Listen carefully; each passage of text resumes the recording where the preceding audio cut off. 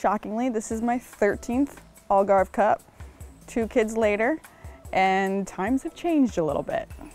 You know, I went from being the young kid, trying to get a little color, try and enjoy the soccer, to being a mom, being a captain, being a role model, and now trying to stay out of the sun, no wrinkles, you know, and just really enjoying the tournament. It's a good tournament. It's a great tournament early on, kind of sets the tone for um, the year and kind of see where we're at. You know, I think we're at a, a place where it's our coming to our first tournament. It's just almost kind of replicates Olympics World Cup where it's game day off game, two days off. So it's, it's a good rhythm to see how many games we can play um, at a good high level. You know, the, the competition's getting better. You know, this year we're playing Sweden, Japan, Denmark, you know, in the first three games, hoping to make it to the final. It's also a good experience, you know, for Tom too, as a new coach coming into this environment. So I've played so many roles throughout my career here at the Algarve. So I started with trying to just get a few minutes in four games and, and watching and learning to then becoming a starter and trying to be consistent. Now it's a little bit of a, a, mental game for me with a physical game, but you know it's only making the team stronger and better. And you know he needs to see everybody to see who I'd say best clicks, you know, at this level because it's the best 11 that works together, not necessarily the best 11 players on the field.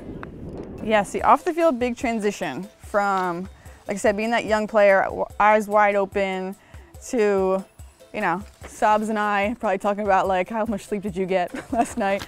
You know, and of course, good old Lil with Riley. That was a long time ago. Yeah, look at these photos, oh my gosh just a peanut. So I wasn't getting much sleep, but I was young, could handle it. Oh, look at this one. Someone else, moms and mom to be any day now. So miss my partner in crime. And then, uh, was this Mitzi's 100th cap. So just a lot of good memories, a lot of accomplishments here at the Algarve. A lot of different players have gone through, and of course, our favorite when we come here, Indian. You know, it's crazy because I probably only eat Indian food when I'm in Portugal.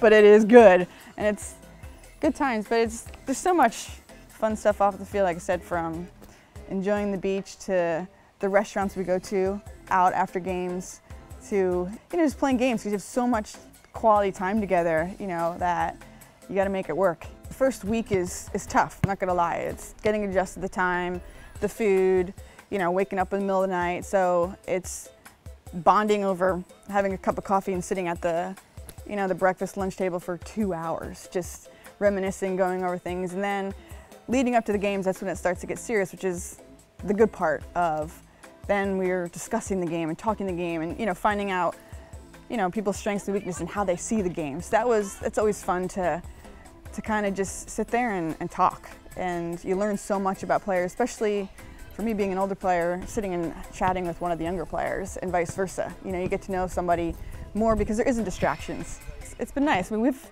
over the years, we've gone on a few boat trips and seen the coast and it's been nice to just take in the coloring of the rocks and the, the buildings is, is absolutely gorgeous. So it's, uh, it's very different, um, but it, at the same time it's very peaceful and you know, it's, there's not a lot of distraction here, so you can really focus on what you want to do. It's always about the mentality and you know knowing that when you're challenging yourself to come into the tournament and knowing that we're really going to win and you do, it's a great accomplishment and I think it sets the tone for the year.